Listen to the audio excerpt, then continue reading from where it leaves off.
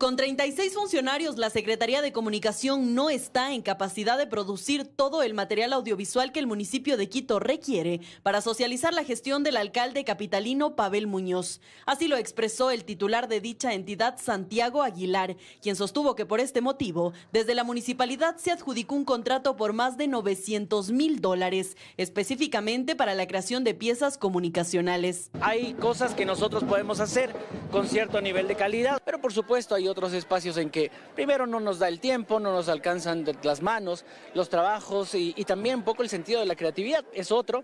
Pero eso no es todo, sino que existe otro proceso de contratación por adjudicar en el portal de compras públicas por el servicio de pautaje y publicidad para comunicar la gestión institucional del municipio del Distrito Metropolitano de Quito, ese por 2 millones de dólares, el mismo que incluye la elaboración y pautaje de al menos 60 spots de televisión, 60 cuñas de radio, 50 piezas publicitarias y hasta la elaboración de 10 spots para pautar en salas de cine. Nosotros tenemos unos medios municipales, Quito Informa, las radios metropolitanas, nuestras redes sociales y por supuesto su alcance es limitado. Necesitamos que ese mensaje se amplifique a través de los medios de comunicación. Contratos que para Muñoz son necesarios, pues es de importancia promocionar sus obras, dijo. Así que en realidad es una inversión, yo diría, eh, absolutamente eh, sensata, incluso eh, bastante económica, diría, respecto a lo que es el presupuesto global del municipio. Este último proceso de pautaje se da luego de que hace pocos meses se suspendiera un contrato similar